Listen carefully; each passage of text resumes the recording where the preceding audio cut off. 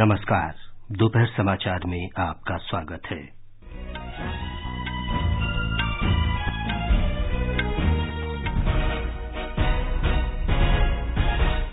सरकार ने संसद के बजट सत्र से पहले सर्वदलीय बैठक बुलाई। असम में National Democratic Front of Bodoland के चार गुटों के एक हज़ार छह सौ पंद्रह सदस्यों ने गुवाहाटी में आत्मसमर्पण किया। विश्व स्वास्थ्य संगठन ने चीन में फैले कोरोना वायरस के मुद्दे पर जिनेवा में आपात बैठक बुलाई। चीन में मृतकों की संख्या एक सौ सत्तर हुई। केरल में चीन के वुहान विश्वविद्यालय के एक छात्र में कोरोना वायरस की पुष्टि।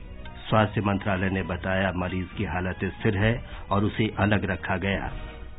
उच्चतम न्यायालय ने निर्भया सामूहिक दुष्कर्म और हत्या मामले में मौत की सजा पाए चार में से एक और दोषी की क्यूरेटिव याचिका खारिज की। राष्ट्र आज महात्मा गांधी की बहत्तरवीं पुण्यतिथि पर उन्हें श्रद्धांजलि अर्पित कर रहा है। और ऑस्ट्रेलियन ओपन टेनिस टूर्नामेंट में विश्व की नंबर एक खिलाड़ी एशली भारती महिला सिंगल्स सेमीफाइनल में हारी। फेडरर और जोकोविच के बीच सेमीफाइनल मुकाबला अब से कुछ देर बाद।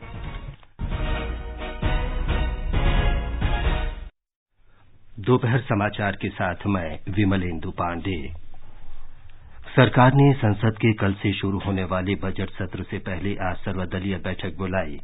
इस बैठक में प्रधानमंत्री नरेंद्र मोदी, रक्षा मंत्री राजनाथ सिंह, संसदीय कार्य मंत्री प्रहलाद जोशी, कांग्रेस नेता गुलाम नबी आज़ाद तथा आनंद शर्मा, तृणमूल कांग्रेस के डेरेक ओब्रायन, राष्ट्रवादी कांग्रेस पार्टी की सुप्रिया सुले ने भाग लिया। इनके अलावा लोक जनशक्ति पार्टी नेता रामविलास पासवान, समाजवादी पार्टी नेता रामगोपाल यादव और संसदीय कार्य राज्य मंत्री अर्जुन राम मेघवाल भी बैठक में शामिल हुए। बजट सत्र के पहले दिन कल राष्ट्रपति रामनाथ कोविंद दोनों सदनों के संयुक्त सत्र को संबोधित करेंगे। इसके बाद आर्थिक सर्वेक्षण पेश किया जाएगा। बजट शनिवार को प्रस्तुत किया जाएगा। सिक्किम में विभिन्न क्षेत्रों के लोगों को आगामी बजट से बड़ी आशाएँ हैं। इनमें जैविक खेती के लिए सहायता या अनुदान घोषित किया जाना भी शामिल है, जिसमें इस पर्वतीय राज्य के बहुत से लोग लगे हैं। शिक्षा के क्षेत्र खासतौर पर अनुसंधान करने वाले छात्रों और छोटे तथा मध्यम उद्यमी भी बजट से आशाएँ लगाए हुए हैं। लोकसभा अध्यक्ष ओम बिड़ला ने भी आज शाम सर्वदलीय बैठक बुलाई है। इस बैठक के दौरान श्री बिड़ला लोकसभा के सुचारू संचालन के लिए सभी दलों से सहयोग की अपील करेंगे। बजट सत्र का पहला चरण कल से शुरू होगा और 11 फरवरी तक चलेगा। एक महीने के अंतराल के बाद इसका अगला चरण 2 मार्च से 3 अप्रैल तक चलेगा। असम में National Democratic Front of Bodoland NDFB के चार गुटों के एक हज़ार छह सौ पंद्रह सदस्यों ने आज गुवाहाटी में मुख्यमंत्री सर्बानंद सोनोवाल के समक्ष अपने हथियार सौंप दिए। इनमें आठ सौ छत्तीस प्रोग्रेसिव गुट के दो धड़ों के, पाँच सौ उनासी रंजन रायमारी गुट के और दो सौ साओ रायग्वारा गुट के सदस्य हैं। इन लोगों ने कुल एक सौ अठहत्तर अत्याधुनिक हथियार और विस्फोटक जमा कराये इस अवसर पर मुख्यमंत्री सर्बानंद सोनोवाल ने कहा कि हथियार जमा कराने के समारोह से ये साबित हो गई है कि एनडीएफबी राज्य में स्थायी शांति चाहता है। उन्होंने कहा कि सरकार ये सुनिश्चित करेगी कि सभी कार्यकर्ता सम्मानजनक जीवन जी सकें। मुख्यमंत्री ने एनडीएफबी के साथ हाल के समझौतों के लिए प्रधानमंत्री और गृहमंत्री का आभार व्यक्त किया। जो शांति समझौता किया गया है, आपसू यूबीपीओ और हमारे एनडीपी अलग अलग यूनिट से, इसके लिए मैं असम की जनता की तरफ़ से प्रधानमंत्री नरेंद्र मोदी जी को और गृह मंत्री अमित शाह जी को हृदय से धन्यवाद देना चाहता हूँ, क्योंकि उन लोगों ने हमें जो मदद किया और उनकी दिल में असम के लिए जो सद्भावना बसा हुआ है, वो चाहते हैं असम आगे बढ़े, नॉर्थ ईस्ट आगे बढ़े। असम के वित्त मंत्री हेमंत बिस्व शर्मा ने हथियार समर्पित करने वाले उग्रवादियों के लिए विस्तृत पुनर्वास नीति तैयार करने की घोषणा की। उन्होंने उल्फा के प्रमुख परवेश बरुआ से भी शांति प्रक्रिया में शामिल होने की अपील की। ऑल बोलो स्टूडेंट्स यूनियन के अध्यक्ष प्रमोद बोडो ने असम सरकार से शांति समझौते पर अक्षरशः अमल सुनिश्चित करने का भी आग्रह किया है। इससे पहले हाल ही में एनडीएफबी ने केंद्र और असम सरकार के साथ नई दिल्ली में त्रिपक्षीय शांति समझौते पर हस्ताक्षर किए थे। समझौते के अनुसार बोडोलैंड क्षेत्र के विकास के लिए अगले तीन वर्षो में डेढ़ हज़ार करोड़ रुपए का वित्तीय पैकेज दिया जाएगा। ये समाचार आकाशवाणी से प्रसारित किए जा रहे हैं। ताज़ा समाचार जानने के लिए आप हमारे Twitter handle at A I R news Hindi को फॉलो कर सकते हैं। विश्व स्वास्थ्य संगठन ने चीन में फैले कोरोना वायरस के बारे में आज आपात बैठक बुलाई है। अंतर्राष्ट्रीय स्वास्थ्य नियमों के तहत संगठन की आपात समिति की बैठक जिनेवा में होगी। ये समिति विश्व स्वास्थ्य संगठन के महानिदेशक को परामर्श देगी कि क्या ये महामारी अंतर्राष्ट्रीय स्तर की लोक स्वास्थ्य आपात स्थिति है और इस पर नियंत्रण के लिए क्या उपाय सुझाए जाने चाहिए। एक रिपोर्ट। विश्व स्वास्थ्य संगठन के पिछले हफ़्ते की मीटिंग के बाद कई ऐसे केसेस सामने आए हैं जिसमें मरीज़ ने चीन की यात्रा नहीं की थी। जिससे चीन के बाहर भी मनुष्यों के बीच इस वायरस के फैलने का खतरा बढ़ता हुआ दिख रहा है। पूरा चीन इस समय इस बीमारी की चपेट में है और पीड़ितों की संख्या 2003 में चीन में फैली सार्स बीमारी से भी ज़्यादा हो गई है। मेडिकल कर्मी अपनी क्षमता से ज़्यादा कार्य करने में लगे हुए हैं। हुबई के गवर्नर ने कहा है कि वुहान ही नहीं, आसपास के शहर भी मेडिकल संसाधनों की कमी से जूझ रहे हैं। उन्होंने कहा कि पड़ोसी हुआंगांग शहर इस बीमारी से बुरी तरह से पीड़ित है और वो इसे दूसरा वुहान नहीं बनने देंगे। अंशुमान मिश्रा, आकाशवाणी समाचार, बेजिंग। चीन में कोरोना वायरस से मरने वालों की संख्या बढ़कर एक सौ सत्तर हो गई है। देश भर में इस संक्रमण के अब तक सात हज़ार आठ सौ मरीजों की पुष्टि की गई है। चीन के प्रधानमंत्री ली खचियांग ने कहा है कि उनका देश कोरोना वायरस महामारी की रोकथाम और नियंत्रण के प्रभावी उपायों के लिए हर संभव प्रयास कर रहा है। इस बीच चीन के स्वास्थ्य अधिकारियों ने बताया है कि तिब्बत में इस संक्रमण का पहला मरीज़ सामने आया है। भारत ने चीन से अनुरोध किया है कि भारतीय नागरिकों को हुबेई प्रांत से स्वदेश लाने के लिए दो उड़ानों की अनुमति दी जाए। विदेश मंत्रालय के प्रवक्ता रवीश कुमार ने बताया कि पेइचिंग में भारतीय दूतावास इस बारे में चीन के अधिकारियों से बातचीत कर रहा है। फ्रांस में कोरोना वायरस के पाँच मामलों की पुष्टि हुई है। कनाडा भी अपने 160 नागरिकों को चीन से स्वदेश लाने के लिए एक विमान भेजने की व्यवस्था कर रहा है। जापान का दूसरा चार्टर्ड विमान वुहान से उसके नागरिकों को लेकर आज तोक्यो पहुँचा। इनमें से नौ लोगों में कोरोना वायरस संक्रमण की आशंका है। भारत में नोवेल कोरोना वायरस के पहले मरीज़ की केरल में पुष्टि हुई है। स्वास्थ्य मंत्रालय की विज्ञप्ति में बताया गया है कि चीन के वुहान विश्वविद्यालय में पढ़ाई करने वाले एक छात्र को इस बीमारी से संक्रमित पाया गया है। वो हाल ही में चीन से वापस लौटा था और उसे अस्पताल में आइसोलेशन में रखा जा रहा है। इस छात्र की हालत स्थिर बनी हुई है और उसके स्वास्थ्य पर लगातार नज़र रखी जा रही है। राष्ट्रीय संचारी रोग संस्थान के निदेशक सुरजीत कुमार सिंह ने बताया कि नोवल कोरोना वायरस को फैलने से रोकने के लिए इस पर काबू पाना ज़रूरी है।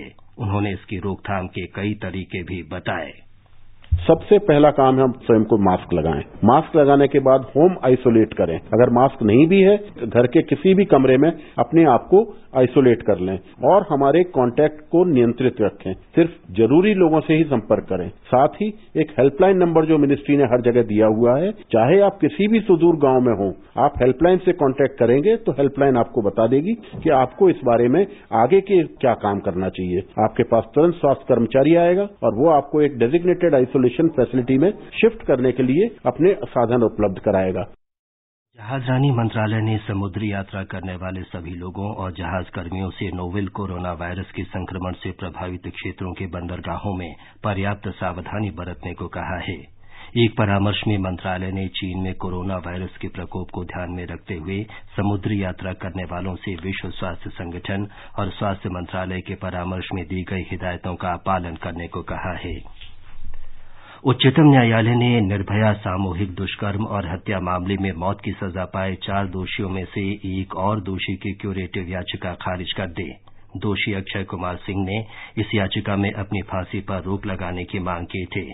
पाँच न्यायाधीशों न्यायमूर्ति N V Ramana, Arun Mishra, R Nariman, R Bhanumati और अशोक भूषण की पीठ ने उसकी ये याचिका नामंजूर कर दी। निर्वाचन आयोग ने भारतीय जनता पार्टी के राष्ट्रीय महासचिव अरुण सिंह को नोटिस जारी किया है। कांग्रेस ने उन पर झूठे विज्ञापनों से दिल्ली चुनाव में प्रचार करने का आरोप लगाते हुए इसे चुनावी आचार संहिता के उल्लंघन का मामला बताकर आयोग में शिकायत दर्ज कराई थी। आयोग ने इस बारे में अरुण सिंह से कल तक जवाब देने को कहा है। दिल्ली विधानसभा चुनाव में सिर्फ़ नौ दिन बचे हैं और राष्ट्रीय राजधानी में चुनाव प्रचार ज़ोर पकड़ता जा रहा है। विभिन्न पार्टियों के उम्मीदवार और नेता मतदाताओं को अपने पक्ष में करने के हर संभव प्रयास कर रहे हैं।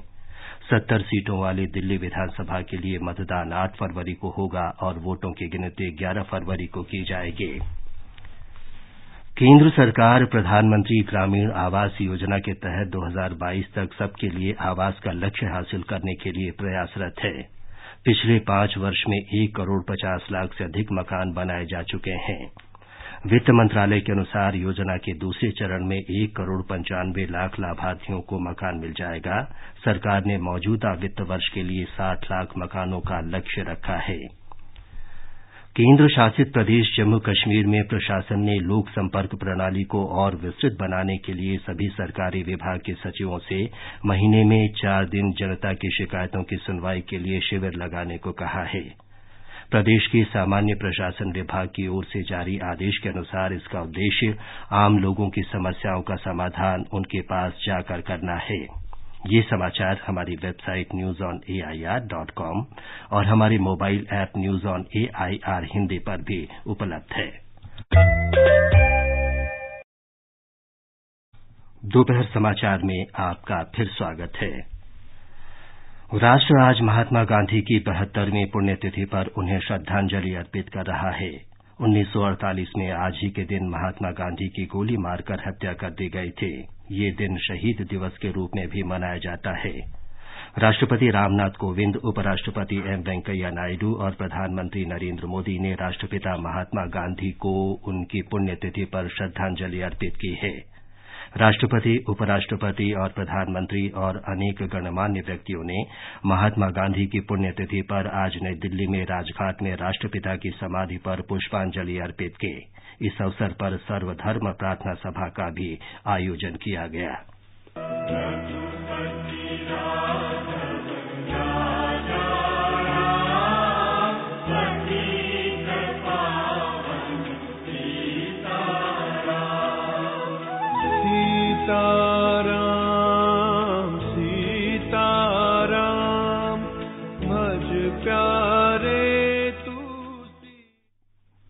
गुजरात से हमारे संवाददाता ने बताया है कि महात्मा गांधी की पुण्यतिथि पर राज्य में कई कार्यक्रम आयोजित किए गए।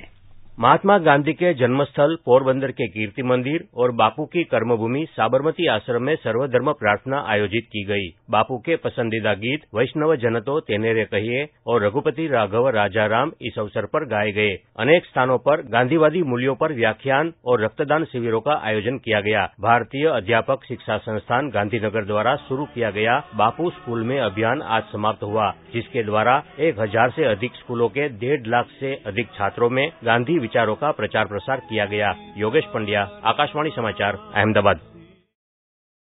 पंचमी और सरस्वती पूजा के त्योहार आज देश के विभिन्न भागों में धार्मिक श्रद्धा और उल्लास के साथ मनाए जा रहे हैं। इस दिन बुद्धि और ज्ञान की देवी सरस्वती की पूजा की जाती है। राष्ट्रपति, उपराष्ट्रपति और प्रधानमंत्री ने इस अवसर पर देशवासियों को शुभकामनाएँ दी हैं। ये पर्व वसंत के आगमन का प्रतीक है। टेनिस में ऑस्ट्रेलियन ओपन के पहले सेमीफाइनल मैच में स्विट्जरलैंड के रॉजर फेडरर का मुकाबला सर्बिया के नोवाक जोकोविच से होगा। दूसरे सेमीफाइनल में अलेक्जेंडर जेवरेव का मुकाबला डोमिनिक टीएम से होगा।